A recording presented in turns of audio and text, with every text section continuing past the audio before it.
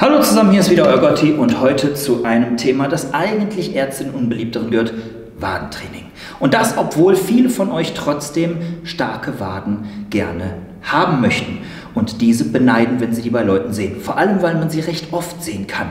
Egal wie verkleidet man auch obenrum ist und zugedeckt, die Waden kann man, sobald man eine kurze Hose hat, sehen lassen. Und es sieht immer eindrucksvoll aus. Aber viele schieben es dann vor allem auf die Genetik, wenn sie diese nicht haben, kommen damit leicht davon und das war's. Dabei stimmt es auch nur zum Teil. Ja, es gibt Leute, die haben eine prädispositive Veranlagung dafür, dicke Arme zu bekommen, einen dicken Trizeps zu bekommen, eher einen schlanken Trizeps, einen hohen Bizepshobel und so weiter. Das stimmt alles. Da kann man nicht aus jemandem, der die Genetik eigentlich hat, eher dünnere Arme zu haben, jemanden zu machen, bei dem sie am stärksten sind. Aber dicke Arme kriegt er schon. Und dicken Waden sollten eigentlich auch jeder bekommen. Es ist nur die Frage, wie. Und da sind die meisten einfach nicht besonders geduldig und auch experimentierfreudig, was beim Bodybuilding oft einhergeht. Und heute kümmern wir uns genau darum. Die meisten haben dann die Logik, die interne Logik, die Waden sind nun mal ein Muskel, der den ganzen Tag einen Dauertonus erfährt. Der Muskel im Körper, der tatsächlich so ziemlich am meisten im Alltag mit beansprucht wird. Bei jedem Schritt, beim Aufstehen und so weiter. Die balancieren tatsächlich uns aus und sorgen auch für die Fußstellung unten und damit sind die immer ein bisschen dabei. Ergo denken sich die meisten, okay, die sind tausende von Wiederholungen gewöhnt, also muss ich sie mit vielen Wiederholungen versuchen zu schocken. Man könnte es aber genau umgekehrt sehen. Die sind schon diese vielen Wiederholungen den ganzen Tag und das ganze Leben gewohnt. Wieso jetzt nicht mal schocken mit wenig Wiederholung und hohem Gewicht? Und genau das werden wir heute mal machen. Ich möchte euch mal dazu ermuntern, es mal ganz gegen die läufige Meinung zu versuchen und wirklich so zu trainieren, wie wir das auch beim Rücken oder bei der Brust oft machen. Sechs bis zehn Wiederholungen, sehr schwer, ein wenig reißen, dadurch nicht die ganze Range of Motion hinbekommen aber nochmal mit Intensivwiederholungen nachsetzen. Und glaubt mir, probiert es ein, zweimal aus, nur vier Sätze, mehr braucht ihr nicht, vier Sätze, das machen wir heute und ihr werdet ein erstaunliches Gefühl haben, wenn ihr das richtig macht. Ich mache das hier im Wadenheben sitzend, passt sehr gut. Warum? Hier können wir am meisten nachhelfen. Ihr seht diese Griffe hier, die sind nicht einfach nur dazu da, dass man sich stur festhält. Nein, die kann man hervorragend benutzen, um ein wenig nachzuhelfen indem man hieran später etwas zieht mit dem Körper nach hinten. Dadurch hilft man natürlich bei der Aufwärtsbewegung, lässt es dann wieder los beim Abwärtssenken. Und hier machen wir das Gleiche, was wir schon gelernt haben. Die negative werden wir langsam nach unten lassen. Dann können wir gerne auch explosionsartig, Achtung, nicht zu wörtlich nehmen, nicht mit zu viel Schwung, aber relativ zügig nach oben gehen, warten wieder im Peak ein bisschen und gehen langsam runter. Unten leicht in den Stretch gehen, auch das ist hier eines der Geheimnisse und ganz wichtig dabei, aber auch nicht zu sehr, wir müssen es nicht übertreiben. Dennoch mit in den Stretch reingehen. Und dann versuchen wir mal einiges abzureißen. So, ich habe jetzt hier sehr viel Gewicht drauf getan, das sind 70 Kilo, das ist schon eine ganze Menge für mich. Und jetzt werde ich mal den ersten Satz machen.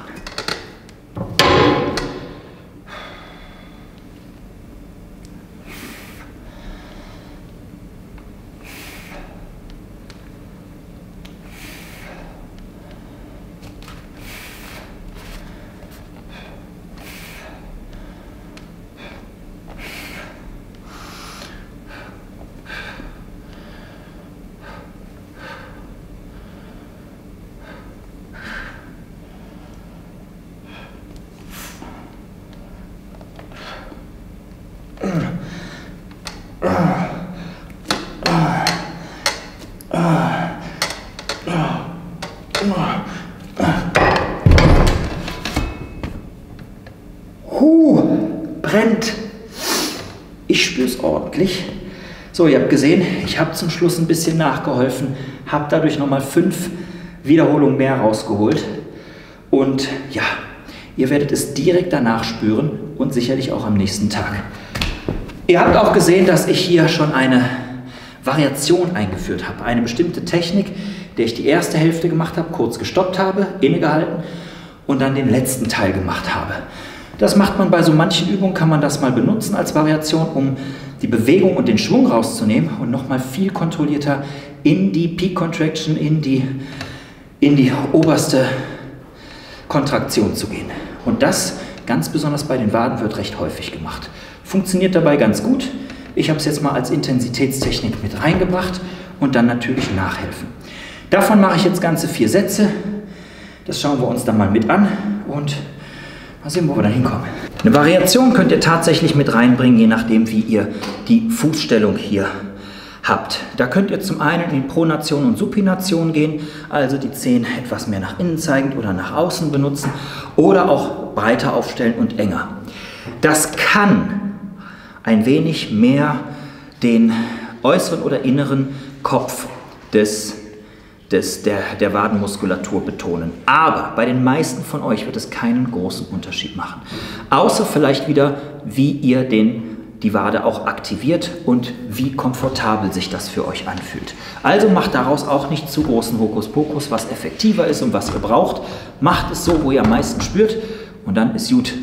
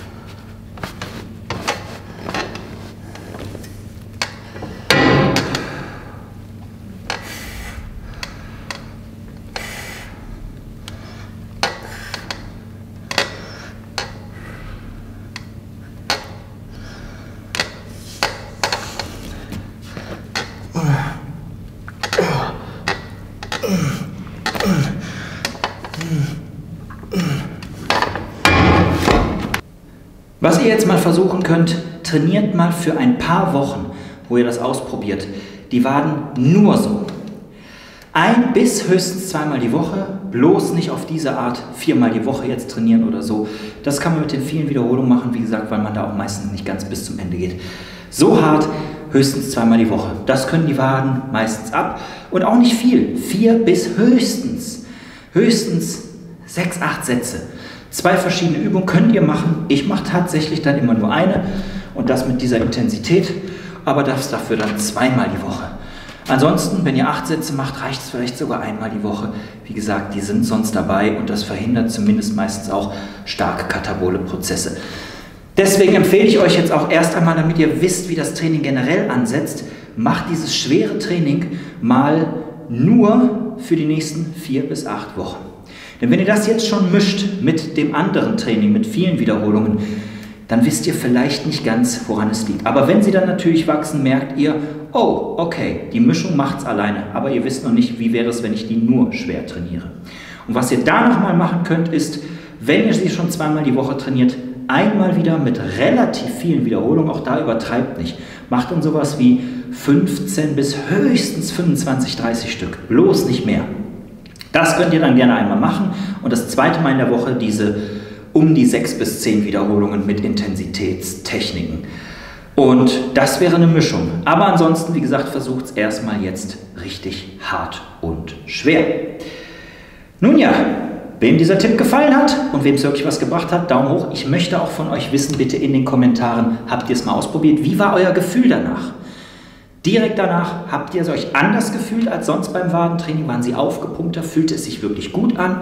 Wie fühlt es sich in den nächsten Tagen an? Und natürlich wäre es geil, wenn Leute dieses Video noch sehen oder sich daran erinnern in drei, vier Wochen und mal ihre Erfahrungen hier drunter schreiben. Das ist ganz besonders wichtig für diejenigen, die natürlich später das Video sehen, wenn es nicht direkt rausgekommen ist und auch gerne mal Feedback haben möchten. Hat es bei euch funktioniert oder nicht? Selbst ich bin gespannt, weil ich weiß noch nicht, ich habe es noch nie erhoben, eine Feldstudie draus gemacht oder auch dazu gehört, wie viele Leute wirklich auf das schwere Training besser reagieren oder auch nicht. Ich reagiere ganz gut drauf und mir macht es auch noch zusätzlich Spaß. Nun dann, schaut euch auch mal auf dem Kanal um nach anderen Videos, abonniert ihn, wenn es euch gefällt, was ihr hier seht. Und ansonsten schaut auch gerne mal bei Protein Arena vorbei. Wenn ihr 15% sparen wollt bei euren Supplements, einfach Gotti15 als Code eingeben. Das war's von mir. Macht's gut. Bis bald, euer Gotti.